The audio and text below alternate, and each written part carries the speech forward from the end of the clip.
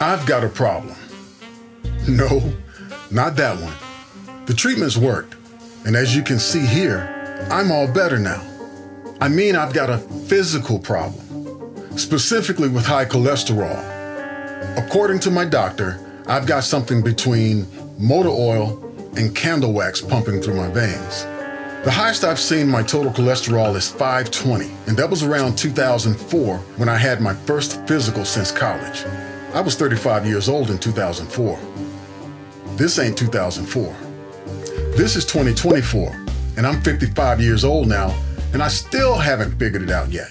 So my plan now is to start from scratch and create the perfect solution to optimize my metabolic health. Let me tell you all about it. As I disdain medicine of all sorts, everything from aspirin to cough syrup to antibiotics to statins, my approach will continue to focus on the things outside of prescribed medicine that I can control. This means my success will be dependent on my ability to research, plan, implement, and maintain discipline. Also, there's debate around the efficacy of cholesterol medicine at even preventing heart attacks and strokes.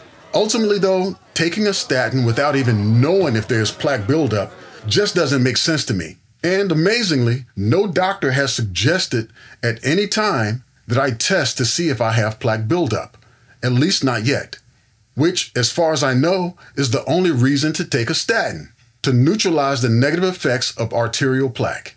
Also, as far as I know, if there's no plaque buildup, there's no problem. I personally don't consider high cholesterol taken in isolation an issue.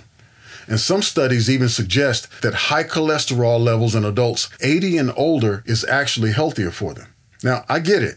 I'm a ways away from 80 years old, but a fella can dream. I hope I get there. But all of those are discussions for a later time. For now, I'll continue moving forward as planned. And for my next me as the guinea pig experiment, I'm going to focus on five areas physical activity, core nutrition, supplementation, rest and recovery, and environmental factors. Then, for each of those areas, I'm going to address the trifecta of the past, present, and future. With the past being experience based empirical data, the present being the current state of affairs for physiology and technology, and the future being the practical plan of action and milestones, or POAM. I've been very fortunate to not have had a cardiovascular event up until now. I think it may be in part due to my consistently engaging in intense, heavy weight training workouts for most of my life. Well, for at least as long as I can stay injury free. The injuries, yeah, they're real. Like I said, I'm 55 years old right now and I'm I'm feeling it all. Things from 20 years ago are coming back. I remember when I Even when I have an injury, it's it's a problem, but it doesn't stop me. I always find a way. I always find a way to work around it or keep moving in some way. Or, as my grandma would say, do what you can with what you have where you are. That's that Henderson knowledge. Undefeated, boy. Additionally, I'm also a lifetime teetotaler, having never had alcohol, and I've never smoked cigarettes or cigars or taken any kind of recreational drug, including steroids, I know y'all heard me when I said intense weight training exercises for most of my life. I know what you're thinking.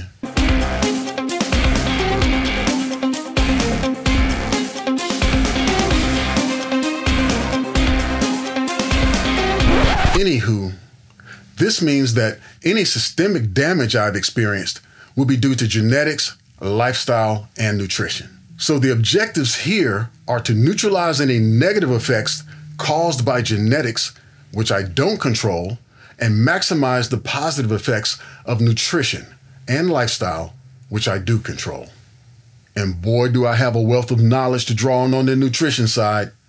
I mean, over the years, I've tried the Mediterranean diet, the DASH diet, the carnivore diet, intermittent fasting, and its offshoot, the one meal a day, the keto diet, several iterations of the low fat, high fat, mostly vegetables, mostly meat diets.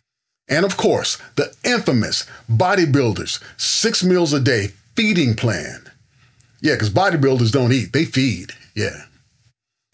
And I've also taken all manner of snake oils, vitamins, minerals, potions, and supplements. My body has been a virtual petri dish of experimentation for decades now, with some things being more successful than others, for sure. I have some assumptions that need to be fleshed out. But one of the assumptions I'm confident in its validity is that of the negative impact of simple sugars and carbohydrates on the microbiome and metabolic systems in general. But again, all of this is still just supposition, at least until the latest data is evaluated using the new model. I've been playing tag with death for over two decades now. And even though I've been fortunate to not have had a cardiac event up until this point, I know that I'm living with a ticking cardiac time bomb that needs to be diffused. My lab data is sourced from regular checkups, health insurance wellness programs, and out of pocket ad hoc lab purchases. As we take a look at the lab data, and since this is an overview, I'm going to focus on the data that's in the average column and a few of the outliers. To rapidly run through the numbers, total cholesterol 335, HDL 49, LDL 216, VLDL 48, triglycerides 235, triglyceride to HDL ratio 5. Now, for the outliers, LDL is 307, that was in 2018. HDL was 61, that was in 2022.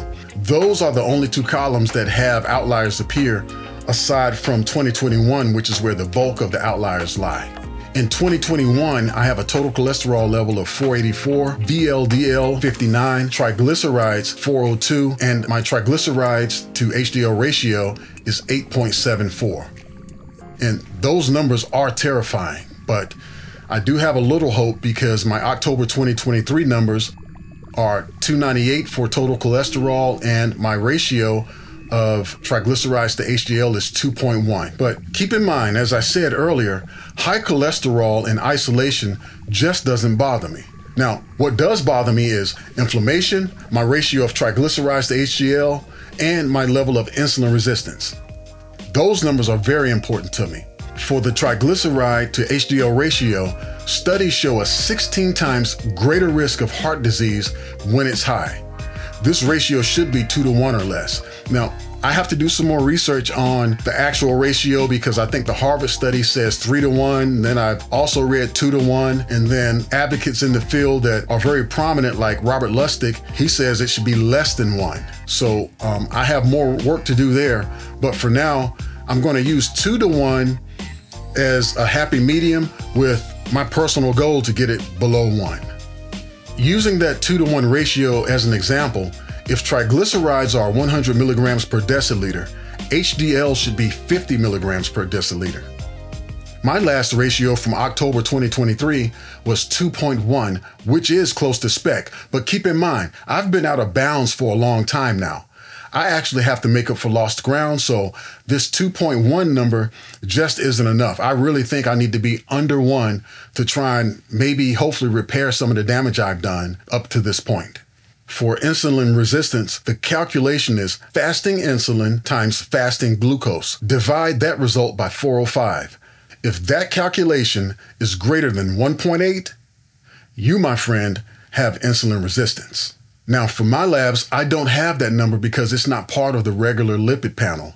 And most doctors, they just want to prescribe you stuff without actually putting in the work or going above and beyond what'll pass muster with the insurance companies. They just evaluate to the mean, but some of us actually need a little bit more work done, maybe a deeper dive into the numbers, maybe extra tests run to try and ferret out what the actual problem or problems are. So you may have to challenge your doctor if you think something is amiss, or if you just want to have a higher level of comfort with the numbers that you're getting back and understanding the complexion of your health. All in all, my labs over the last seven years show a general decline in the negative biomarkers but I still have a long ways to go. Unfortunately, my labs only go back a few years because my healthcare provider, they switched back end companies or software or something like that, and all of my older data is just lost in the ether somewhere. But I'm sure if they needed to use that data against me for whatever reason, they could pull that data up. I'm pretty sure they'd find it. To wrap up, I know I'm living on nearly expired or borrowed time right now. So, my key takeaways are Number one, barring any shenanigans with the pending labs from the next step, my cholesterol levels are trending downward from the known all time high of 520. Second, current updated lipid panel labs need to be obtained. C, the POAM, or Plan of Action and Milestones, needs to be completed. And number four, this journey will continue in future videos, so feel free to tune in and tag along. And for those of you who are fighting the same or a similar battle, good luck on your health improvement journey, and thanks for watching.